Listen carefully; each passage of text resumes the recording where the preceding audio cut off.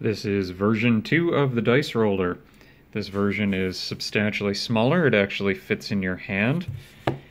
It has uh, an alphanumeric display by SparkFun. This one is in green, which we'll see in a moment. Uh, it's also got onboard charging and a lithium polymer battery pack.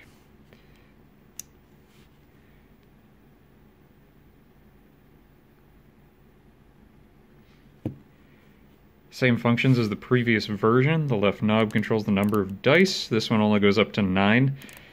It seemed a bit less ridiculous than going up to 20 on the previous version.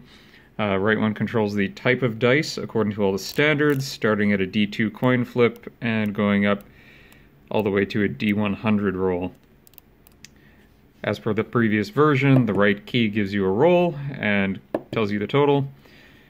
Holding the left and clicking the right will add to your previous roll and holding the left holding the right rather and clicking the left will do a subtractive roll.